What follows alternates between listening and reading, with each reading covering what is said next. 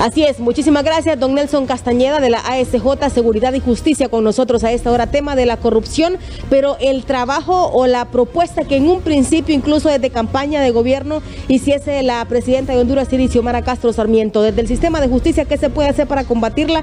¿Cuál es la ruta que debe de seguir la nueva titular o los nuevos titulares del Poder Judicial si se logra pues llegar a un consenso en el Congreso y que se establezca una nueva corte, tomando como punto de partida las promesas de campaña por combatir la corrupción, don Nelson.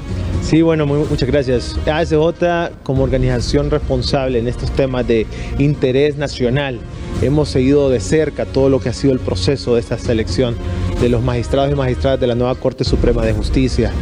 Hay que ver algo positivo, ¿verdad? Eh, la manera pública y transparente con la que se trabajó durante la selección de todos los postulantes, el trabajo de la Junta Nominadora, en publicar lo que fue todo el tema de las entrevistas, cómo se dio y el acceso que le dieron a la sociedad civil para presenciar lo que fue las evaluaciones. Todo eso creo que suma en el tema de la transparencia en este proceso, pero, ¿verdad? Eh, ya la ley establece y es clara que al final todo este trabajo, aunque sea todo transparente, eh, esta selección de los últimos 45 postulantes, al final cuando llega a un Congreso Nacional que está dividido por partidos políticos, no esperemos nosotros que sea una selección totalmente apolítica, ¿verdad?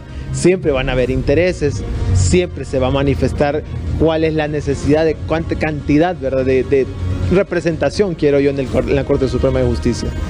Pero, ¿verdad? Aunque esto va a pasar, ¿verdad? Definitivamente va a haber un consenso al final, y esperamos así sea, de quiénes serán esos 15 magistrados y magistradas. Creo que en esta ocasión eh, el pueblo hondureño se ha involucrado bastante en lo que ha sido este proceso. Yo le hago una consulta. Mucha gente desconoce quiénes son los actuales 15 magistrados. Mucha gente desconoce que hay magistrados que se retiraron por dos, tres años para ir a estudiar y dejaron sus puestos abandonados y dejaron a sus suplentes. Pero la gente lo desconoce porque eso antes era una caja negra, ¿verdad? De que no sabíamos quiénes eran estos magistrados, qué es lo que hacían, cómo llegaron ahí. Ahora la gente sabe quiénes van la gente sabe quién va a ocupar ese puesto.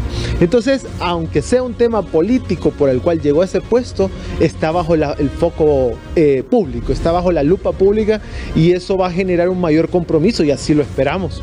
Así que eh, lo que suceda en el Congreso, en el tema de la división, de acuerdo a su visión política, sí es de estar eh, preocupados y de estar atentos, pero creemos que haberlo hecho tan público, ¿verdad? Haberlo hecho tan transparente desde la selección, eso produce de que estas personas vayan con un mayor compromiso y con eh, el conocimiento de que la gente va a estar de cerca a todas las acciones que ejecuten en pro y en contra del Estado.